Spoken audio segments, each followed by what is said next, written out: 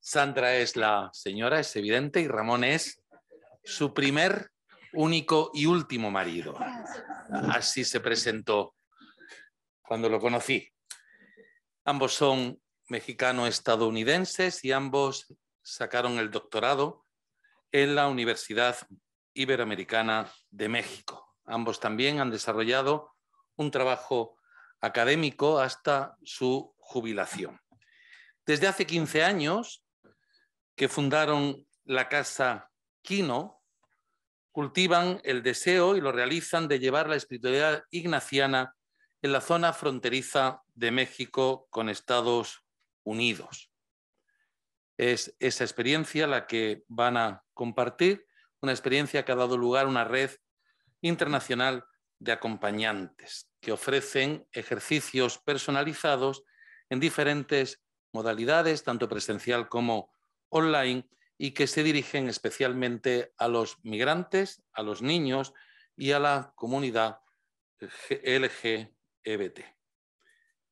Sin más, Sandra, Ramón, cuando queráis. El título de su comunicación es Ejercicios a migrantes latinoamericanos en USA.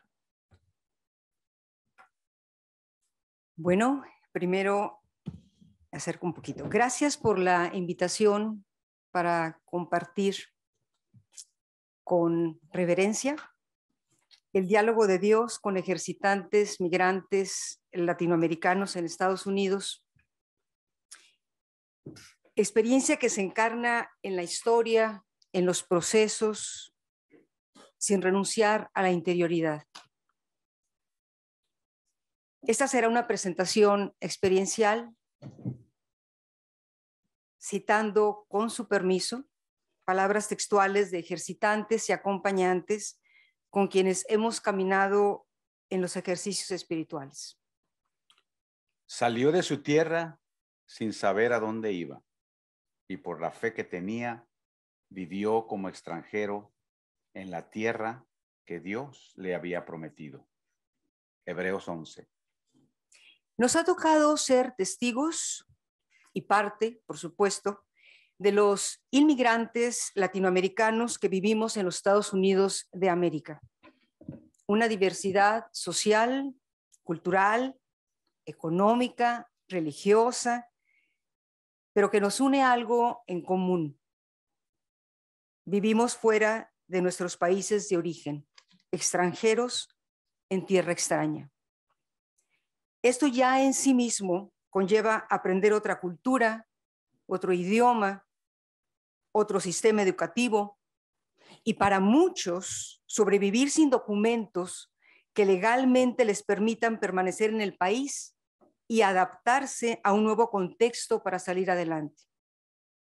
Muchos experimentan soledad, inseguridad, aislamiento, discriminación y casi siempre están lejos de la religión que practicaban en su país de origen, dada la gran carga de trabajo que tienen y les deja poco tiempo disponible. En este esfuerzo constante de ser y estar en un nuevo país, estamos convencidos que los ejercicios espirituales y el discernimiento como preferencia apostólica universal pueden dar una luz de esperanza, solidaridad, transformación, es decir, ver nuevas todas las cosas en Cristo, como dice el lema del año ignaciano. Los ejercicios generan una experiencia en los migrantes que los hace sentirse amados, queridos, consolados por el Dios amor y que sienten que aún en tierras lejanas Dios los acompaña en su peregrinar como a Ignacio de Loyola, el peregrino. La migración a los Estados Unidos tiene muchas causas. Huir de una situación de violencia social o de persecución por causas religiosas, políticas o de diversidad sexual. Huida de las bandas del narcotráfico, violencia, situaciones de pobreza extrema, falta de trabajo y por ende imposibilidad de ofrecer un sustento a la familia. Eso nos ha llevado a hacer sintonía con la oración del Papa Francisco el pasado julio del 2021 que dice, recemos para que en situaciones sociales, económicas y políticas conflictivas, seamos arquitectos de diálogo y de amistad valientes y apasionados. Así pues, nos hemos aventurado a ir hacia donde están los migrantes, a caminar física y virtualmente a ciudades y pueblos, como dice el Evangelio, y nos encontramos con personas que sufren, que han perdido la esperanza, buscan a un Dios cercano y no saben cómo.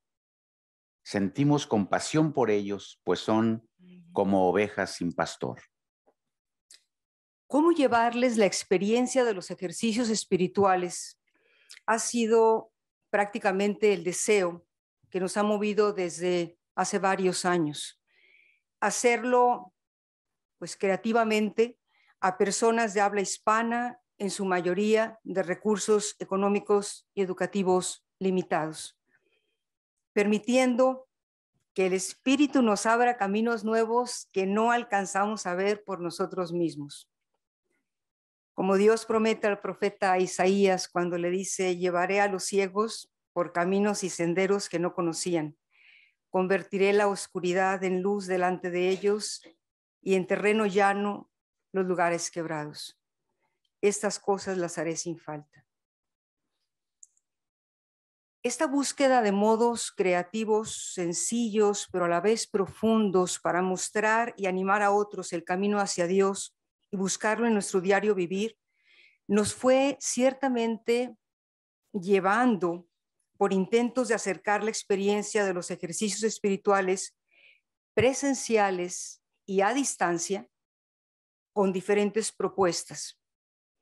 Nos dimos cuenta que tenían que ser adaptados a sus circunstancias, con entrevistas personalizadas que para muchos fue algo totalmente nuevo. También descubrimos que la mayoría de los migrantes no contaban con el tiempo ni el dinero para vivir la experiencia en retiro de ocho días. La anotación 18 en los ejercicios nos daba una cierta libertad de acción. Por ejemplo, cuando decía se han de aplicar tales ejercicios según su edad, letras, ingenio, no se den cosas que no pueda descansadamente llevar y aprovecharse de ellas, darle algunos de esos ejercicios leves, siendo laicos y laicas, además el clericalismo en la comunidad hispana en Estados Unidos nos presentaba otro nuevo reto.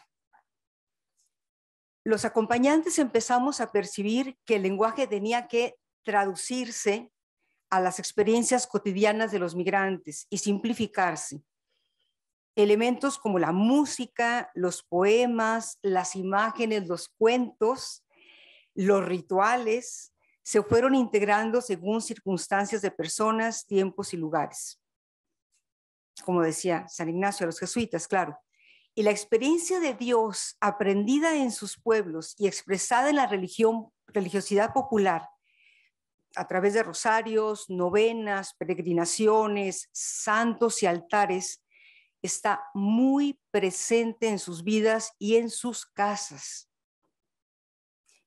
Cuando escuchamos testimonios como, ¿por qué nadie me había enseñado a orar así? No sabía que Dios puede hablar y me habla. Nos animaba a seguir abriendo y explorando caminos. La pandemia a inicios del 2020 presentaba al mundo un reto que exigía tener visión y no perder la esperanza. Esto nos invitaba a entrar con gran ánimo y liberalidad, para dejarnos sorprender por los signos de los tiempos, para no temer a lo nuevo para imaginar y así generar respuestas adecuadas. Empezamos a ofrecer los ejercicios espirituales sin saber qué ocurriría.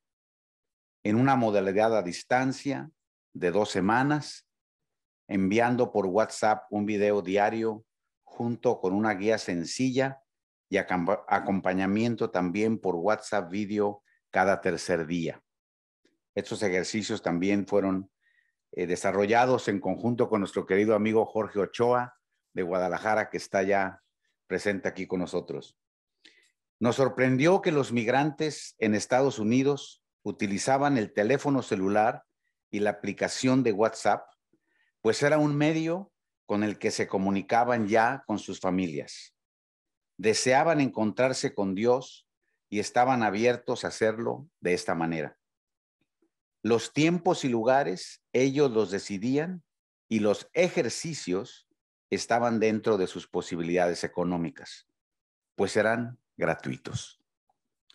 Y nos fueron conectando docenas de acompañantes espirituales, laicos, laicas, jesuitas y religiosas que voluntariamente donaban su tiempo, formándose así una red internacional que hasta la fecha existe y con la que colaboramos juntos en varios proyectos de ejercicios.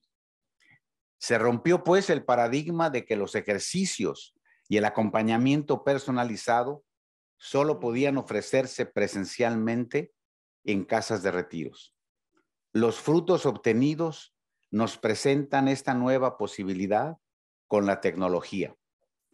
Ha sido conmovedor observar que a los migrantes les gusta, les gusta mucho hablar con sus acompañantes, en su gran mayoría laicos y laicas. Primero porque sienten que hay alguien que se interesa en ellos y les hace preguntas sobre la acción de Dios en sus vidas. Y además les causa gran alegría, gracias a la tecnología en nuestra experiencia, que su acompañante sea de un lugar lejano, de otro país, como Chile, Argentina, Ecuador. Los hace sentir especiales esa cita que tenían eh, dos veces a la semana, a esta hora donde se sentían emocionados porque alguien de un país lejano les iba a hablar para preguntarles en su propio idioma eh, cómo iba la acción de Dios en su vida. Vamos a presentar a continuación eh, testimonios textuales de ejercitantes y acompañantes obtenidos por Casa Quino a través de encuestas y entrevistas, todas con su permiso. Pero quiero decirles que se los vamos a presentar como quien se quita las sandalias ante un terreno sagrado. Como decía Karl Rahner, son una forma de teología de rodillas ante el misterio santo de Dios. Yo creo porque rezo. Nuestro deseo es compartir el encuentro con Dios en la experiencia de ejercicios de los migrantes. El proceso mistagógico se va develando a Dios, que va develando a Dios presente en sus vidas, desde el principio y fundamento hasta la contemplación para alcanzar amor, y que continúa, continúa a lo largo de sus vidas a través de una búsqueda constante del Dios que los habita. El principio y fundamento nos recuerda que somos creación de Dios, somos de Dios y para Dios. El hombre es creado para alabar, hacer reverencia y servir a Dios nuestro Señor y mediante esto salvar su alma. La sensación de soledad que muchos migrantes experimentan fue transformándose en los ejercicios, en, en sentir un por qué y para qué viven. Decía un ejercitante. Antes de los ejercicios, tenía ese sentimiento de que estaba sola. Hoy puedo ver, sentir que nunca he estado sola. Y eso me llena de confianza, esperanza y amor a mi persona y me anima a dar lo mejor de mí. Las personas, en su mayoría mujeres, que hoy están en Estados Unidos y hemos acompañado en ejercicios, siempre narran un momento en su camino donde la experiencia de Dios fue decisiva para salir de su casa o para salir o para seguir adelante. Por ejemplo, al salir de mi casa en Acapulco, México, con mi hija en brazos, sentí una fuerza extraordinaria que me llevó adelante. Solo Dios pudo darme el coraje de abandonar mi casa. Cada noche en mi camino volví a encontrar esa fuerza y confianza de que no iba sola. Movidos por ese deseo esencial que citando a Javier Meloni, es un éxtasis que nos conduce fuera de nosotros mismos, una aspiración por alcanzar un bien y un anhelo que están siempre trascendiéndonos.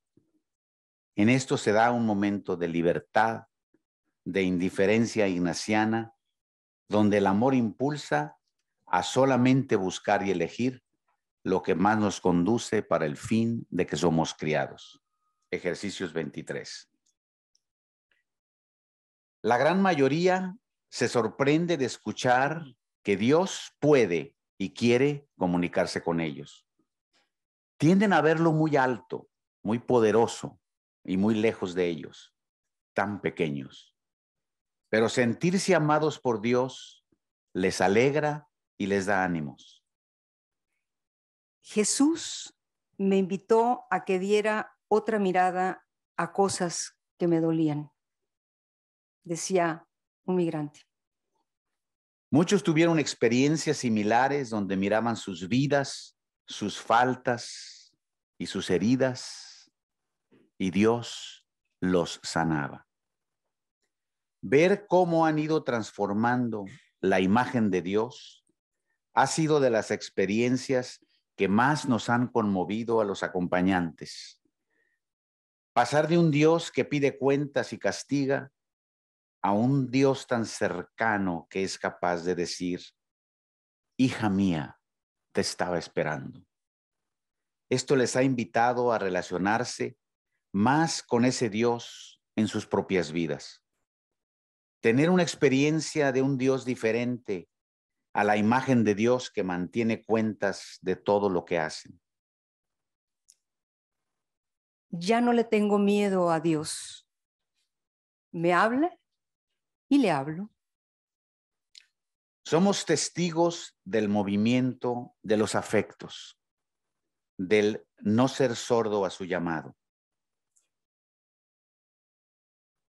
Oí la voz de Dios diciéndome que tengo que ir más despacio para poder hacer más tiempo para Él.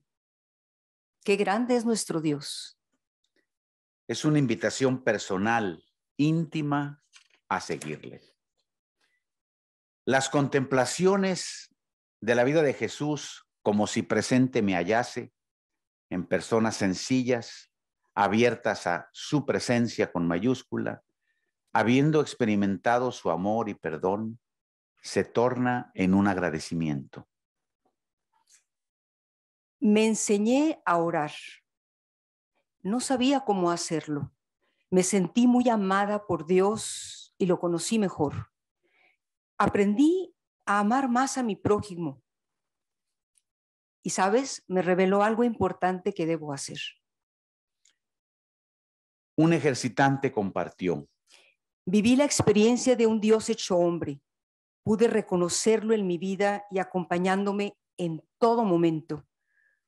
Comencé un proyecto para ayudar a más personas. El reconocerlo y sentirlo cercano como un Dios pobre y humilde, contemplar la escena, el Señor nacido en suma pobreza, como dicen los ejercicios. Pasar de la idea de un Dios objeto a la experiencia de un Dios sujeto que se comunica e interesa por la persona es transformadora. Y el iniciar un proyecto para ponerse a trabajar por el reino es también muy esperanzador. Es ser contemplativos en acción. Nos encontramos que los migrantes, dada su propia experiencia de peregrinación, tienden a ser solidarios con el que sufre, como se mencionaba en la presentación anterior. Y los ejercicios le dan aún más profundidad a esta donación personal. Dice una ejercitante, desde los ejercicios hace dos años, Dios me ha dado valor. Siento cómo trabajamos juntos apoyando a otras mujeres que sufren. Dios me escucha. Él me habla, sé que es Él. Llevan a su vida el oficio de consolar que Cristo nuestro Señor trae, como unos amigos suelen consolar a otros. La petición de la cuarta semana de ejercicios de alegrarme y gozar intensamente de tanta alegría y gozo de Cristo nuestro Señor se percibe como experiencia en muchos de los ejercitantes. Cuando empezamos el retiro, yo no sentía paz. Y al terminarlo, estaba envuelta con la paz de Dios y el regalo que me dio fue volver a la vida, sentirme con vida otra vez, libertad. Pude liberarme de mis cadenas del pasado, pude verlo con los ojos de Dios. Vivo una nueva vida. Los ejercicios se quedarán conmigo para el resto de mi vida. Encontrar a un Dios presente en todo y en todos ha transformado sus vidas. Una persona compartía con lágrimas. Toda mi vida he trabajado como jardinero. Nunca me había dado cuenta de lo que hago con las plantas, árboles, las flores. Por lo general llego y empiezo a cortar, a recoger y a tirar. Hoy me di cuenta que es de Dios y que Dios está allí. Le agradezco mi trabajo. Ya lo sé, desde ahora voy a agradecer, voy a tener más cuidado. El trato con el Dios cercano va permitiendo un autoconocimiento y también un conocimiento de lo que Dios desea. Su invitación a la misión personal. Se va, pasado, se va pasando de una mirada egocéntrica a una cristocéntrica. Hay un momento y hay una respuesta, un sí que se va repitiendo y confirmando a lo largo del camino y se concreta en el darse a los demás. Y en este darse a los demás, les presentamos tres testimonios que nos ayudan a acercarnos con reverencia a este momento. El primero es de Ceci, mexicana viviendo en Oregón. Hace dos años hice los ejercicios espirituales. Acababan de morir mis dos hijos en un accidente. Me sentía culpable. Tenía miedo de hablar con Dios. No me sentía digna. Yo anhelaba un abrazo. Y un día, mi nietecita, mi nietecita me abrazó. No sé qué pasó. Desde allí, todo cambió. Era Dios y me abrazaba.